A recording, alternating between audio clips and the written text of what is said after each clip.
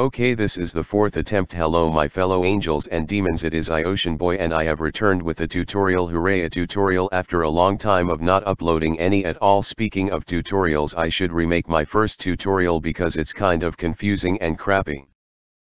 Anyways today I will be explaining how I use Handbrake to make my MMD videos a smaller file size by the way the original tutorial I learned from was by Bubblegum CCP so I guess shout out to her anyways there are two reasons why I do this.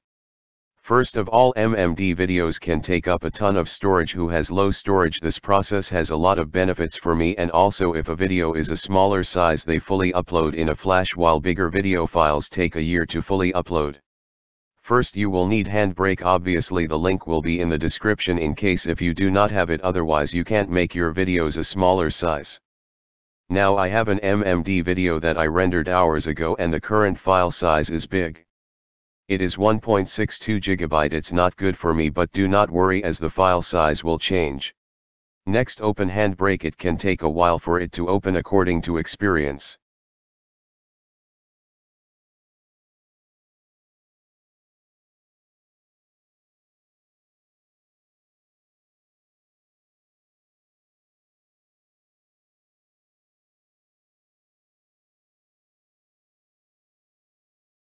Then you can upload your video in here.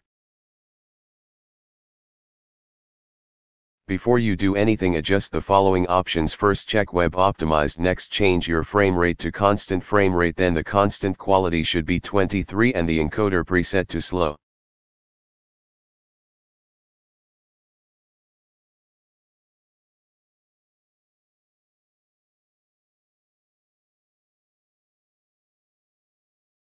You are welcome to name whatever you want your video to be named.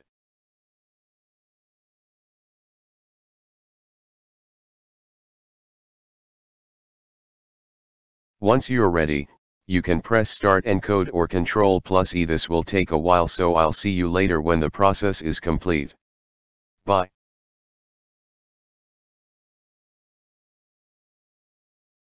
Okay if you're done encoding your VID you will notice that your video size is smaller than before now you can upload your video that will waste less time and that's the end of this tutorial see ya in another time.